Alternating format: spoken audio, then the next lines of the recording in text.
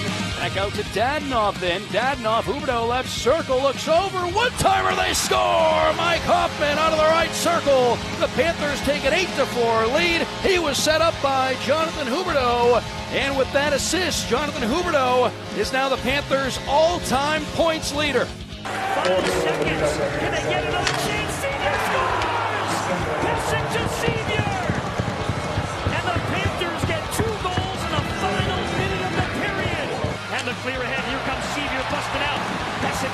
The.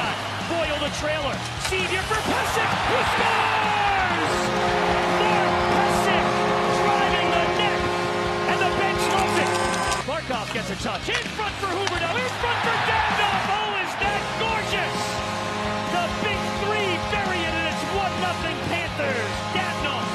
Trocheck down near the net, had it knocked off the stick, then he centers in front shot Connolly and he scores!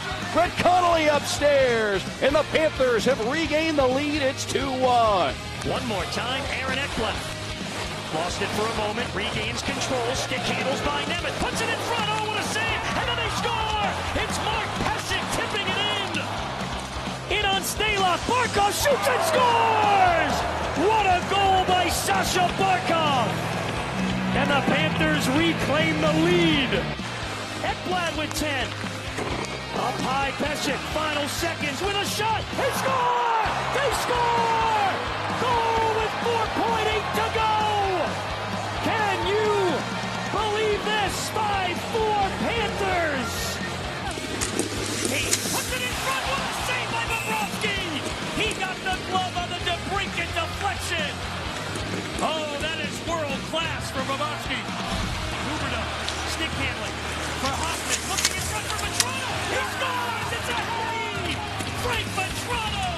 With the hat trick in Chicago.